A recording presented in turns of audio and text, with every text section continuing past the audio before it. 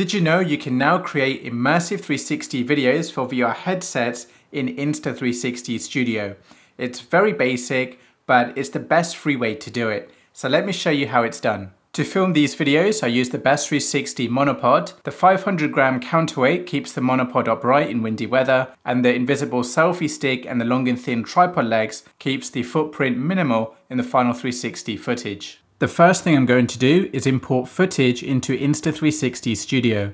So to do this, locate your footage, select the footage you would like to use, and drag and drop this footage into Insta360 Studio. The next step is to trim, edit, and color correct each shot in the Media tab. Then when this is done, I will put together all the shots into a timeline in the Project tab. So starting with shot number one, I will move forward in the timeline where I want this shot to begin. And I want it to begin once I am hiding. So about here. So I will click Mark as Trim Start, and this is where the shot will begin. I will move forward 15 seconds in the timeline so I have enough time for my viewers to look around this 360 shot. And I will mark this as the trim end. So this is where the shot ends. So now I have a 15 second clip. Now I can edit the shot. So if there are any stitching issues, then I can click through these stitching options and pick the best one. And finally, I can color grade the shot. So in this example, I will lift the shadows and I will add color. So now that shot number one is ready, I will move on to shot number two. I will repeat the same process. So I will move forward in the timeline when I hide from the shot. Mark as trim start and I will make this a 15 second shot. Mark this as trim end. So now I have a 15 second shot. Now I'll adjust the color grade. So I'll go to the media processing tab. I will lift the shadows and increase the saturation.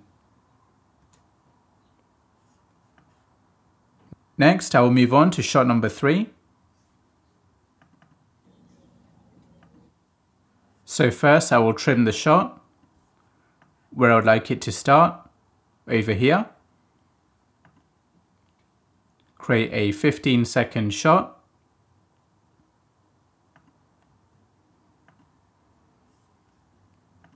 Color grade the shot.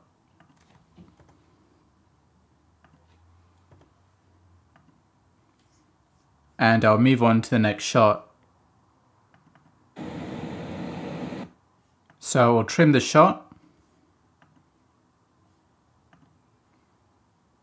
Trim it to 15 seconds.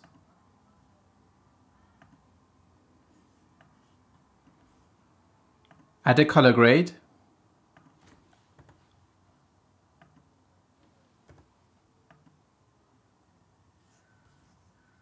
And now all my shots are edited. The next step is to put the shots together in the project tab.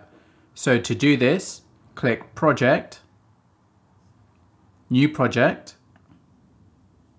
name your project.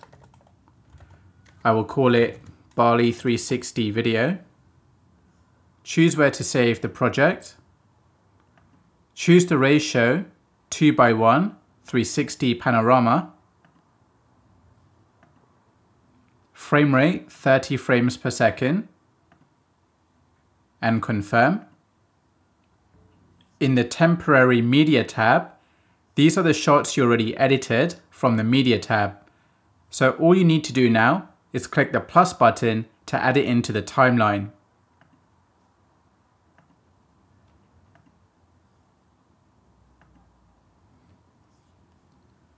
So here are all the shots in the timeline.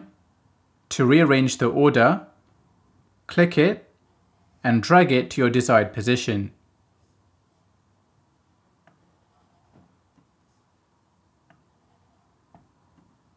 To preview the 360 video, click the 360 monitor button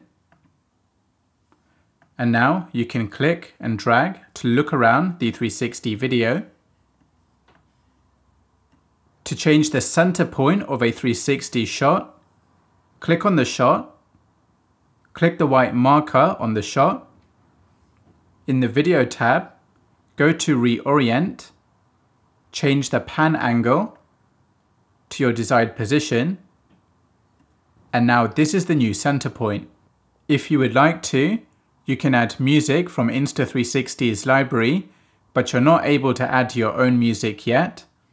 There is an option to add text, but unfortunately Insta360 does not provide text that's specific for a 360 video.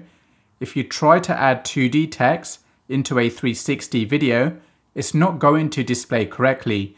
So I would avoid using the text for now until we get 360 video specific text. For transitions, it's a similar story where we don't have 360 video specific transitions, but something like black fade can still work. So I will show you this as an example. I will drag and drop this transition in between two clips and I will change the duration of the transition to two seconds. And this is the result.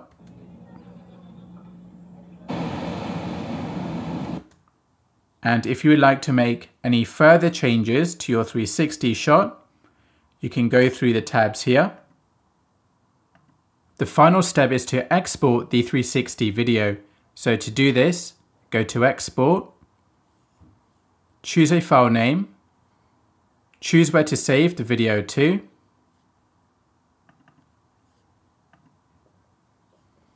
choose a preset. In this case, I will choose YouTube Pano. So in this preset, it's picked the resolution 8K, the frame rate 30 frames per second. I'm going to change the bit rate from 50 to 100. The encoding format should be H.265. Click export and that's it. When you upload your 8K video to YouTube, it will probably show up in 4K resolution first, and then it can take up to a couple of weeks before it shows up in the full 8K resolution.